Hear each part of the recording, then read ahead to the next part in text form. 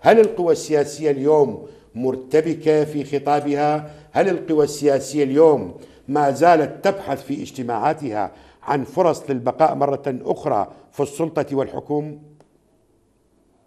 نعم شكرا أستاذ نجم. أعتقد أن هذا الاجتماع آه، مثل آه، نوعا من أنواع آه، رد الفعل الأولي أو الفعل الأولي بعد تجاوز الصدمة الأولى. وهي وهو رسالة أيضا من القوى السياسية الفاعلة في النظام السياسي العراقي أنها باقية وأنها قادرة على المواجهة وأن لديها رسائل واشتراطات وأنها لن تغادر العملية السياسية وأن العملية السياسية ما تزال تحت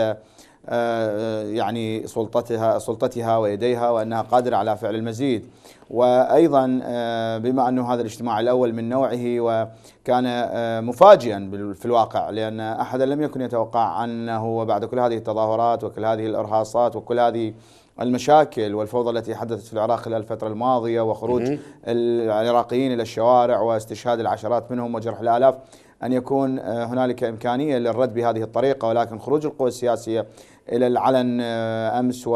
وظهورها وهي آه، شبه متزنة وتتحدث بقوة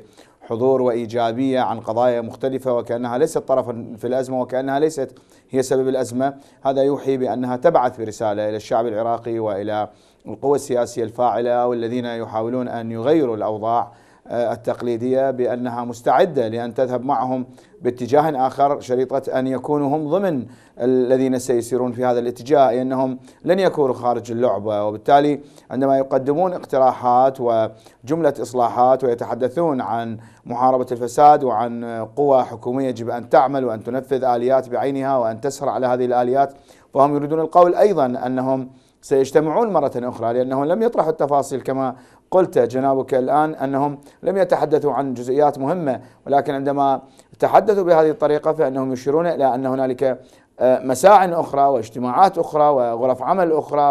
ولقاءات مماثلة في الفترة المقبلة ستدفع باتجاه الحضور أكثر لهذه القوى السياسية الفاعلة أي أنها رسالة واضحة للشعب العراقي وللقوى المنافسة بأن النظام السياسي الذي جاء عام 2003 باق ويعمل ولديه الحضور ولديه النفوذ ولديه التأثير.